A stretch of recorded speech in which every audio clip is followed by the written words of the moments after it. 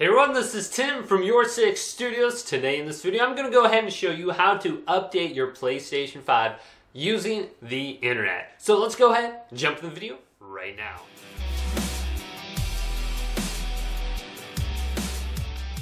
So you want to go ahead and update your PlayStation 5 using the internet. Well, this is actually really easy to do. However, if you have your PlayStation 5 turned on and you go to the settings menu and you try to find an option to update it, it may say that your system is currently up to date.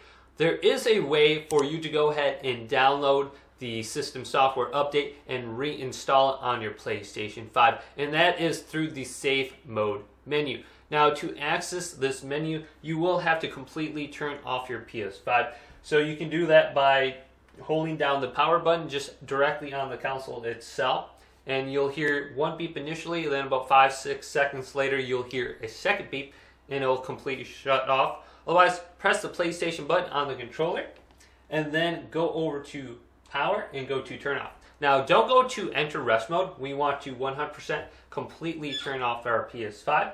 So there will be no lights emitting on the front so once it's completely shut off, we will be able to access the safe mode menu.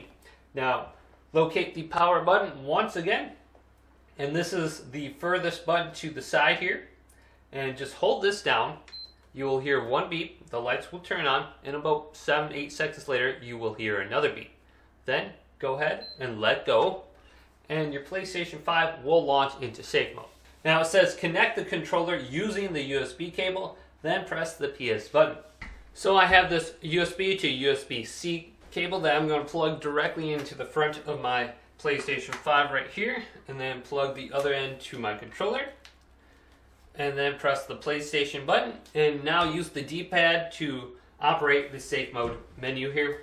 Now you will want to go down to Update System Software, option number three, select this, then it says update from USB drive or update using the internet option 2. Let's press X on this option and it says please wait.